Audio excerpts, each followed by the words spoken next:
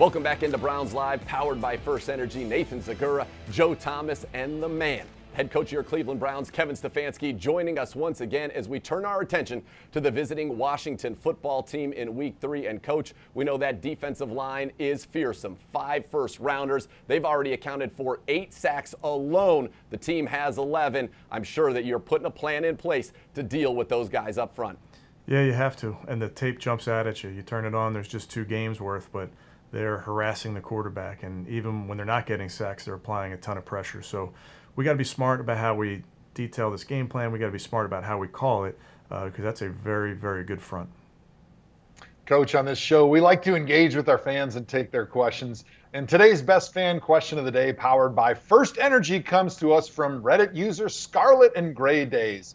And he wants to know what will the cornerback rotation look like with Greedy and Johnson returning? Yeah, I think what we're trying to do is is maximize the talents of the players. So there's going to be opportunities for all of our guys to play. Uh, with the guys we got coming back from injury, what we don't want to do is just have them go uh, 100 miles an hour right from the jump. So we're confident in the depth that we have at the, at the position. So we'd like to roll some people, uh, move guys around, and really just make sure that we're being multiple in the back end. Coach up front dealing with some injuries, but Porter Gustin has really stepped up. And I got a chance to talk with him earlier this week, and he said, you know, I was worried this new coaching staff hadn't gotten to see my work ethic. And I know work was the first word you told this team. Seems like a match made in heaven, a hardworking guy, and it's showing up on the field. Yeah, you hit it. Uh, we did see that hard work ethic throughout the spring. I mean, he, he, was videotaping his workouts and sending them in to us, and he, he was getting the work in. And uh, that's something that Porter's all about. You, you, see him in the weight room, you see him in the meeting room, you see him out on the field. He's just constantly moving. And uh, he's just a guy that keeps coming at you. And it showed up on the game field. And really not surprised. That's what he's been doing in practice. Coach, how important is it to have a guy like Porter Gustin in each position group room that can kind of set the standard for how they come in and work every single day?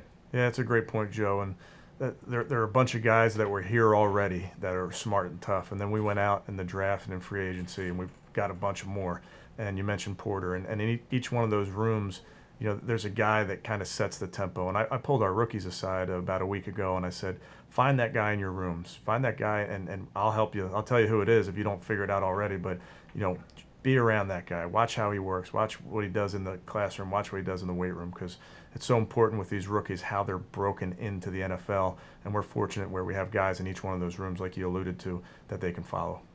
Coach Joe was diversifying earlier, went from the tackle question in the opening segment to the DB question. And I think for all of our DBs, you've got to be very aware of Terry McLaurin. He's accounting for 46.4% of the Washington football team passing offense. That's the highest percentage of any player in the NFL. How do you plan on slowing down the former Ohio State Buckeye? Yeah, he's outstanding. Uh, I mean, really a good football player. And and they, they make sure that he's a focal point of their offense. So you got to have a plan. You can't just do one thing. Uh, you got to kind of be multiple with him. But we, we got to know where 17 is on every single play. They'll move him around the formation.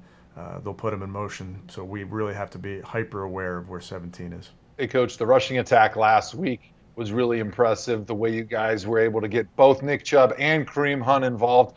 How does that look this week against a really tough Washington defensive line? Yeah, Joe, we're going to try, try to be multiple again. I think what you saw the other night was different run schemes hitting, uh, you know, different, obviously with Nick and Kareem, different personnels. So I, I think there's, there's beauty in, in the uh, multiplicity of the rush attack. Uh, you know, we're going to hang our hat on a few different types of runs, but if you can just kind of be multiple, I think it keeps the defense on their heels. Coach, thanks so much for joining us and good luck on Sunday against the Washington football team looking to take the Browns to a great start at 2 and 1.